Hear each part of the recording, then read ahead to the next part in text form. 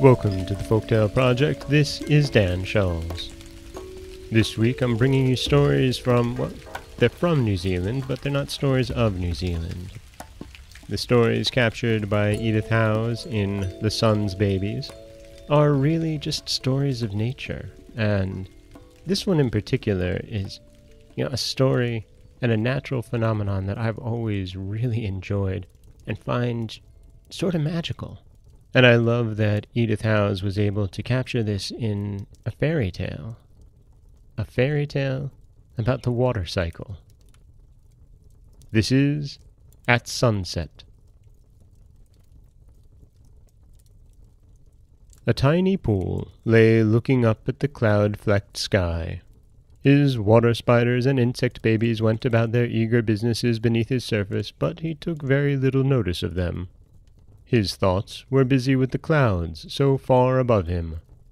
All day he was longing to be with them. The evening came, and the clouds flocked around the setting sun, turning gold and crimson in the wonderful light. Then the little pool longed more than ever to be with them. Ah, if that could only be my life, he sighed. To live in the blue sky and to be made so beautiful. A passing wind heard his words and repeated them to the clouds. They told the kindly sun, and he sent a message by his sunbeams to comfort the little pool. You shall come up here some day, he bade them say. But you have many duties to perform before you can be a sunset cloud. Do well your present work, and wait with patience. Then the pool rejoiced. Day after day he did his lowly work with infinite care nourishing his flowers and rushes and tiny water creatures, and turning a bright and patient face to the sky and his loved clouds. One hot day, the wonderful change came. The sun looked down, saw the work so well done, and gently lifted him through the air to the sky. This was glorious.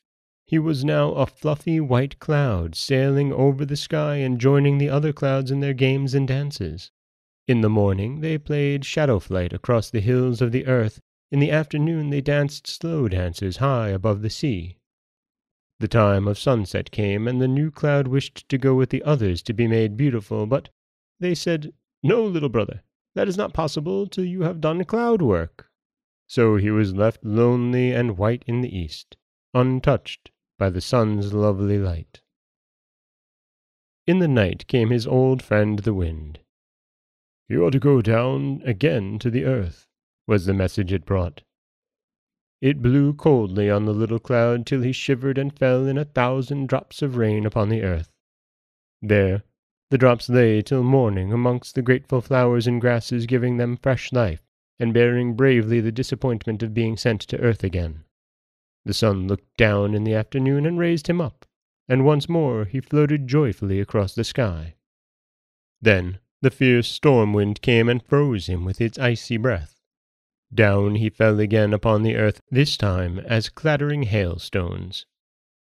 This is all very trying, he said, but it seems to be my work, so I must not grumble. Again he was drawn up. Then the snow wind came and silently froze him into feathery snowflakes and drove him down upon a mountainside. Here he lay for many days, till at last he was drawn up once more. And now the sun said, You have done well and waited patiently, little cloud. Tonight you shall have your reward. So when the time of sunset came, the little cloud sailed into the west with the others. There the sun smiled at him and shone so gloriously on him that he turned golden and red, and glowed more brightly than any there. And that is at sunset, where Edith Howes tells us about the water cycle in a way that is beautiful and moving and, once again, accurate.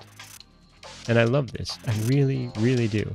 This telling of the stories of nature as fairy tales is something that Howes does beautifully and is so important to teaching children the true way of nature in the world.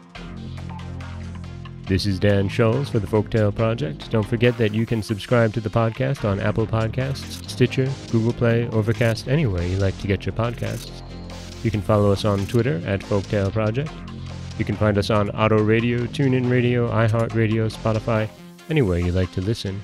And you can always head over to folktaleproject.com, where you'll find a new story waiting for you every Monday, Wednesday, and Friday.